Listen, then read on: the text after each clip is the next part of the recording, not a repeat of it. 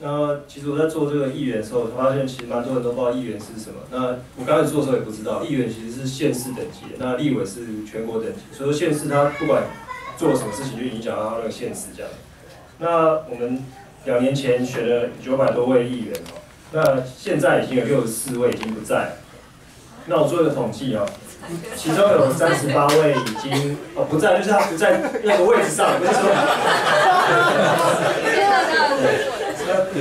那这里有些是病逝的，那其中有三十八位是被判当选无效。那我有列一些，像苗栗、澎湖有五个，彰化、台中四个。所以其实去选不一定，就是你得得票不高，还是有可能会当议员的。因为像澎湖只有十八位议员，那就有五位被那个当选无效，其实你递补递补就就会上。然后那个去到立委居然有十三位，我也是觉得是蛮蛮多的，就是我们立委总数才一百一十三位，就有十三位从议员来的。那我们来看看议员都在干嘛。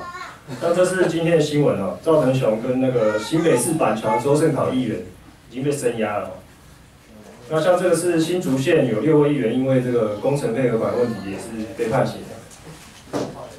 那除了被判刑以外，还有做什么事情呢？像这个是新竹县有两位是劳动党跟绿党的议员，他们是因为要调降房屋，他们不满调降房屋税率，所以自己请辞哦，这今天生效。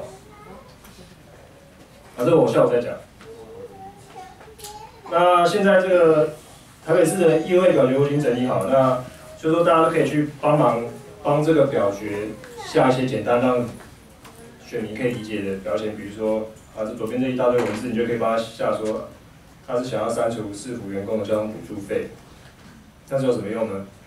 这样之后就可以帮这些议员整理出他的表决立场，像是之前这个中正万华还蛮红的童仲彦，你就可以看到他的表决立场，反对什么，弃权什么，赞成什么，比较一目了然的。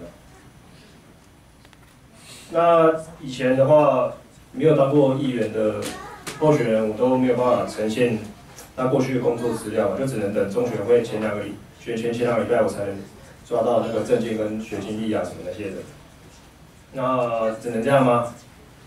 所以说这次我就做了一个新的功能哦。那直接 demo 给大家看啊，像这是我假装的啊，那就可以去编辑你，假如你今天当了议员的候选人，你会想要做什么？你的证件是什么啊？经历、学历啊，那备注啊，你就可以自己写。那这边是用 Markdown 的语言写的，所以说你最后写完的话，就大概会长这样。好，那那个想要报名的人就来找我，我可以教大家写这样。OK，这这样子，好，下面。